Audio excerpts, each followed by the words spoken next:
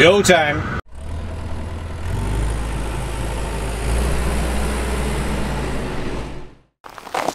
Wow.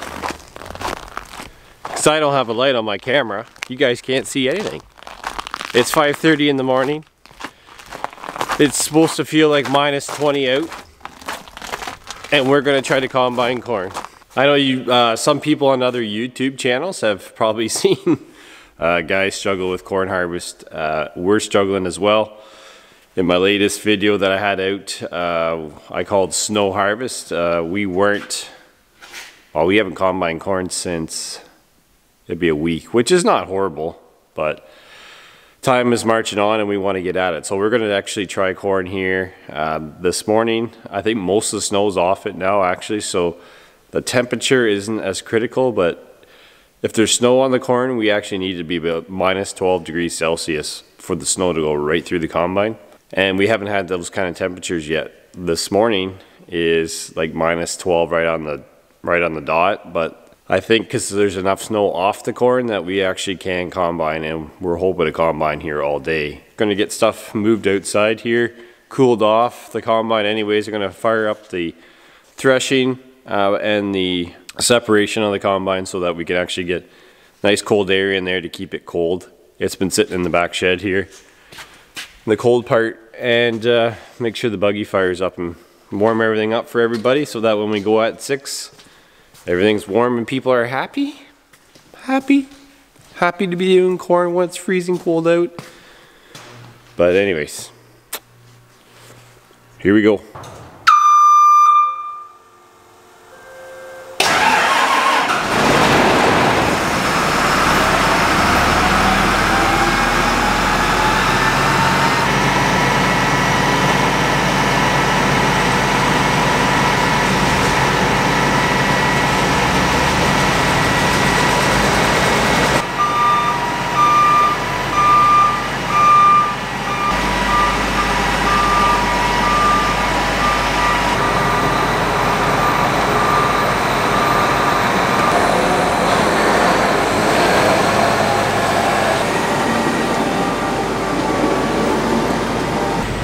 Okay, everything started and it's ready to go. Good morning. It's Saturday after I don't know how long of not being able to do anything because it snowed exactly, I don't know, eight, nine days ago. We have had a lot, a lot of snow. So we, uh, we've been waiting for a really, really cold night to start and we finally got one last night it's about 6 o'clock a.m. Saturday right now, and we have everything fired up, ready to go, hoping there'll be no issues. We've done a, a few different things logistics-wise.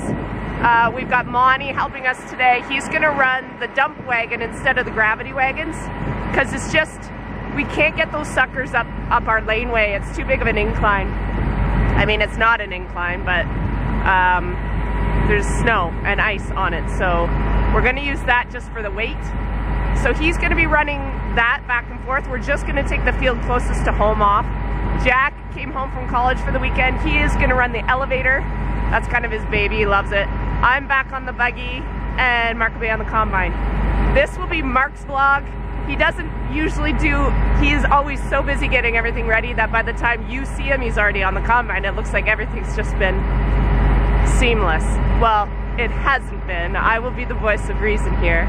And uh, yeah, so I'm giving him all my footage for the grain stuff because I got too much stuff going on, on in the sheep barn in the next lots of weeks. So he gets to edit all my stuff. I have to be very, very, very good at filming myself, which I'm not. I do a lot of editing.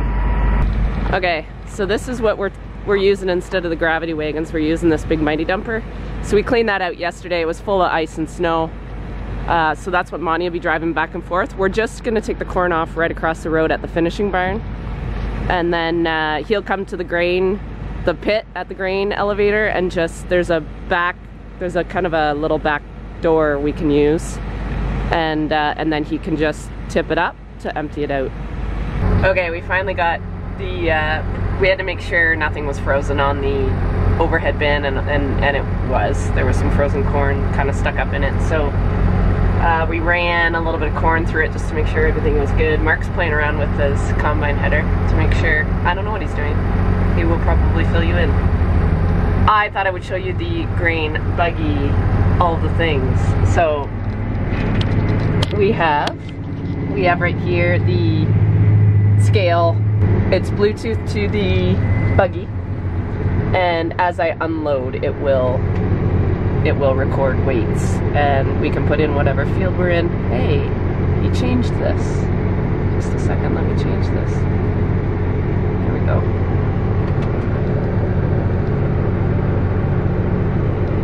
Much better. Uh, so yeah, as this unloads, then it calculates the yield. Um, and then basically it's it's like you have to wait to the very end to figure out what how many bushels per acre we got he just laughed. It was the perfect picture of my camera. So he's got a camera on his combine that points towards the buggy. That helps me when I'm filling this sucker. It's so big, I can't see to the very back of it. Uh, so I'm pretty good at lining up because there's rows, because it's corn, but uh, much nicer to have this camera for filling front to back. All right, he's left, so let's follow.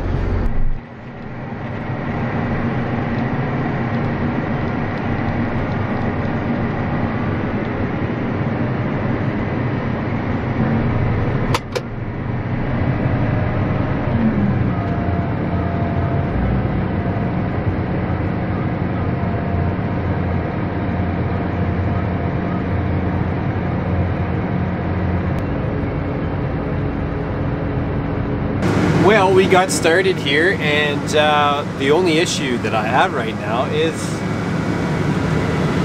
I got no freaking heat in my cab. I got the thing cranked. Oh yeah, cold. Maybe that explained to me why it's not working. So it's set for 90. It's maybe, maybe. I just broke something. I think I broke the auger. Hang on. Might just need a punch. Punch?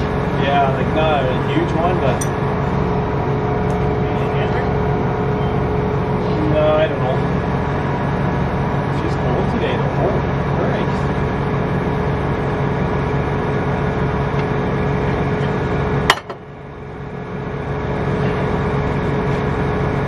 See if I see something for tools.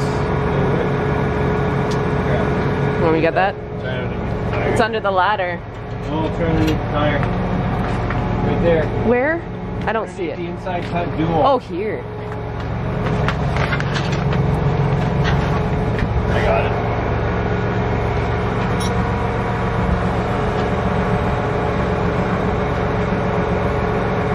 After sitting in the cold combine cab. Aww. Yeah, his heat's not Almost working. feel bad for you. Not much of a goal. I told your viewers my footage is the stuff that really happens, not all sunshines and unicorns like yours. Well, people think I, I'm real as it is. Right. Oh, I hope this works. Why are dropping that? Oh, oh, Oh, we're done before we start.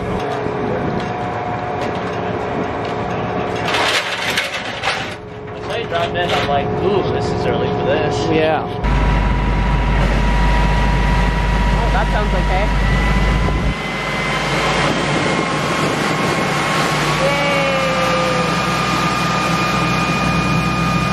Okay, we just blew the shear bolt. So there's a little small bolt on the whole unloading auger on the combine. And if you want to watch my combine clinic video, you'll see the one side of my combine, the driver's side I call it, or if you're standing behind the left side, there's a whole bunch of chains and gears that run the unload system. It's protected by a little bolt and I think just over time they start to wear from engaging all the time. And uh, I just with the cold this morning, uh, it just uh, it broke. So we just got it fixed. Uh, we're just unloading right here on uh, in the yard at home, just by the shop, where we could grab the tools to fix it. Uh, so we're gonna go back at it. Everything seems to be going pretty good. The combine's staying clean. It's freaking cold. Uh, and uh, as I said, I have no heat in my combine cab. It's uh, I got her set for 90 degrees, and it's uh, not 90 degrees in here Fahrenheit. It's more like probably right around two or three. But I'm dressed for it, so it's not a big deal. And when the sun gets up, uh, these caps because they have so much glass in them, they'll warm up pretty quick. So, back at it. Okay, this is the first dump. Just a small one, but everything is slow. All the hydraulics are so cold. We're just seeing if our logistics are gonna work okay. I think it's okay.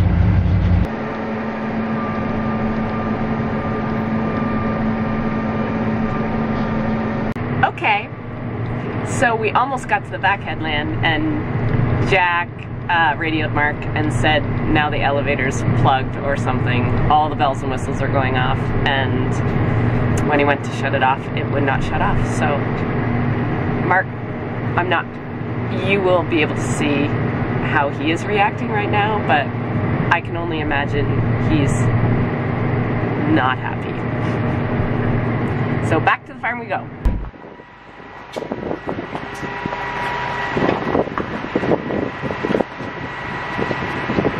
You did good, Jack. Yeah. Looking good. Oh.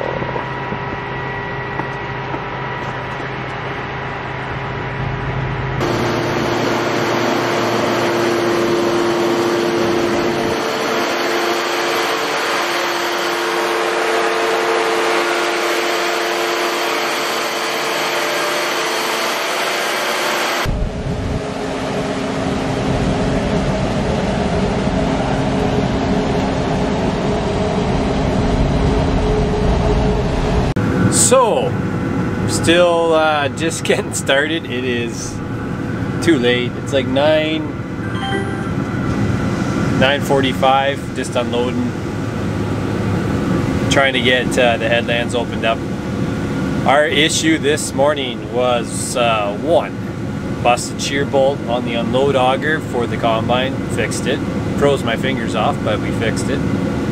Uh, plugged the leg, and I figured it was just because we had uh, the diverter in the wrong spot and we had the system kind of shut off so it was stuck there. Not anyone's fault just stupid. And uh, so it plugged the leg and made it back feed. So that wasn't good.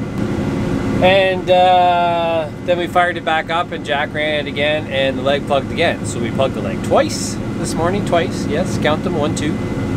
And uh, so Jack and I climbed the leg and it's freaking cold at the top of the leg in the wind. Uh, what happened was a little diverter that I fixed, I think in my video operator error, that diverter up there, I didn't have the limit quite right on it I don't think, so it wasn't going all the way over to switch and as a result it was choking the leg and uh, as it was choking the leg it uh, would back feed and then plug it. So once I got the limit fixed up there, I'm hoping, I'm hoping those were the three things that were gonna mess up our day and now we can just rock and roll.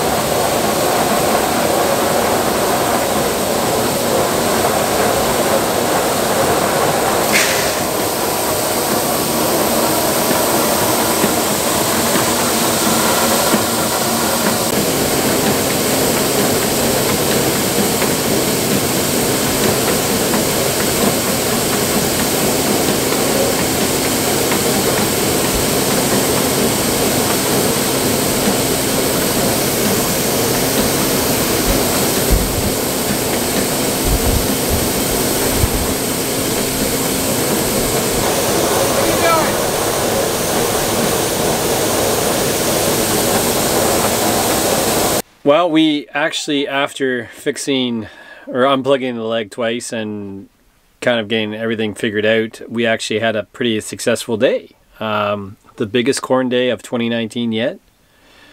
I didn't get a lot of footage just because uh, I didn't want to bug my daughter. She was riding around with me. We were having some daddy-daughter time. Not that I'm really daddy, I'm dad because she's old.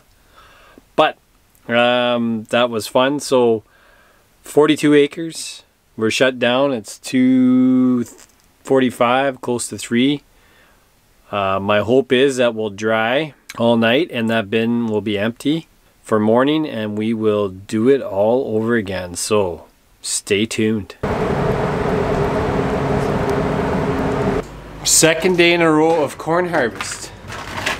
As I said yesterday after we got the uh, hiccups all figured out, we got 42 acres off. So hoping to do that again today. They're talking a little bit of rain tomorrow and maybe snow, so like wet snow. So I'm thinking we could end up trying to get a little bit more off today than we did yesterday. We filled the wet in there about mid-afternoon and we ran out of corn. You can see the no steam on the dryer. We ran out of corn at 6.30 this morning. I didn't get much sleep last night because I was kind of watching the dryer and making sure it was running right. And uh, just wanted to kind of keep an eye on it, but we're about ready to start. The sun's shining. It's gonna be a, a good day, hopefully. Resuming buggy duty. It is Sunday, day two after November began. Uh, just waiting for Mark to come to resume combine duties. Monty's here already and on the dump wagon, which worked really well yesterday. We're just trying to wake the dead Jack. Hopefully we can get this field off today.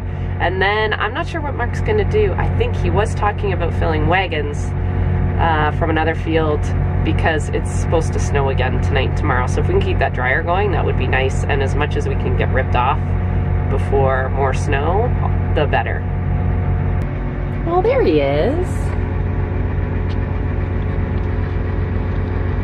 Have you seen Jack's head?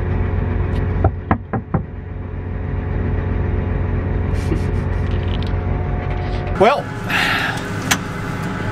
first hiccup of the day. Nothing major, just uh, couldn't get the burner, one burner to fire on the dryer, and I think uh, just a little bit of moisture from the aeration fan pushing some of that moisture laden air from drying the corn uh, and the hot corn sitting in the bottom, and it just wouldn't let it fire. So we let the air, the burner fan run for about five minutes, and seems it dried it out enough that uh, the burner's fired. So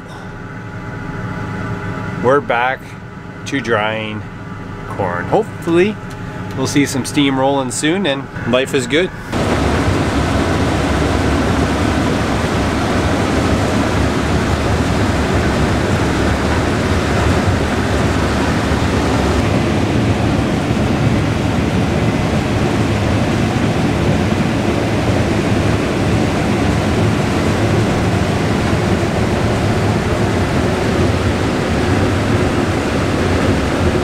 We finally got jammed up on uh, our timing a little bit, and I'm just sitting here waiting for Sandi to come back with the buggy as I'm sitting here full in the end.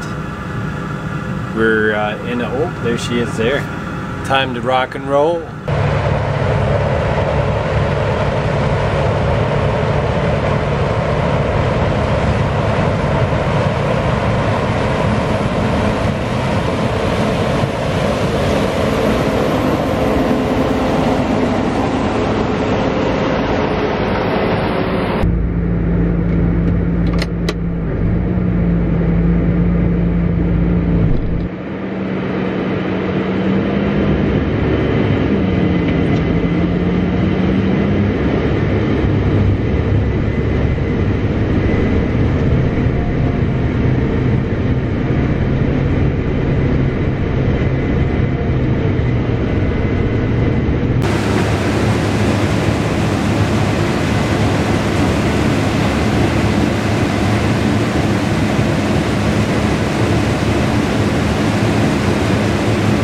Anyway, we got about 20, uh, 21 acres off here today. So far things are running pretty smooth. We're into some corn that was planted uh, May May 31st. I got got a card in here where uh, I think uh, the video was entitled "Done with Corn?" question mark. But this stuff, uh, it's blowing my mind, but it's yielding uh, quite well.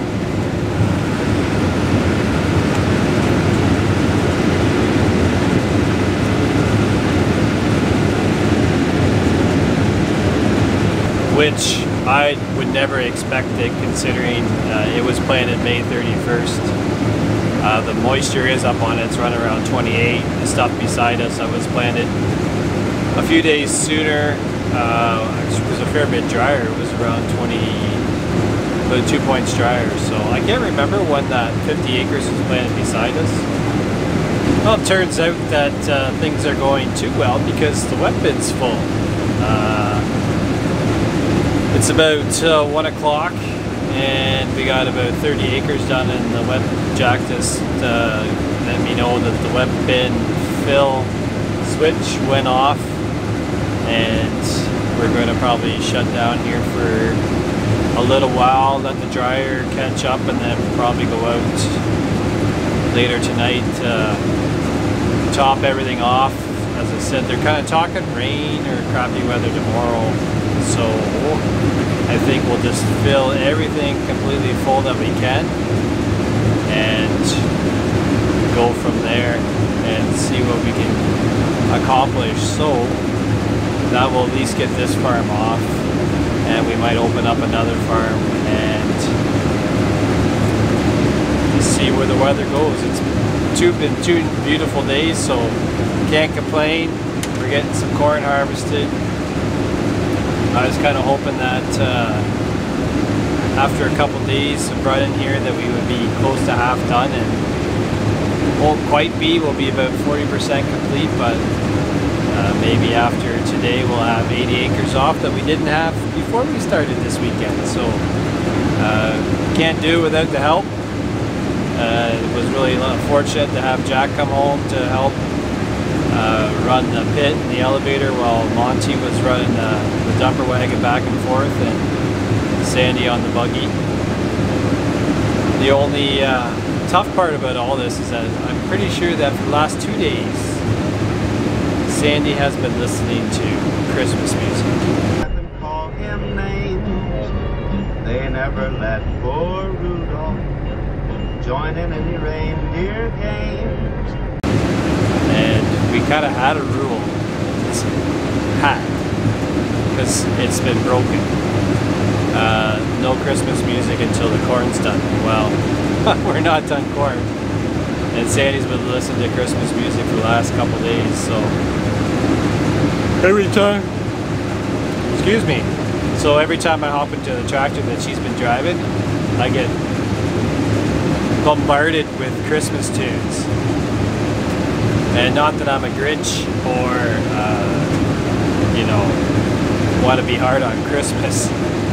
Uh, I just don't like the music until the end of the harvest window is in sight. We're not quite there yet. So I myself listen to audiobooks and different podcasts. That's kind of how I spend my time in the combine here and avoid Christmas music. But we're done for a little bit here and hopefully we can fire the, the outfits back up here this evening, top everything off and uh, let the dryer do its thing.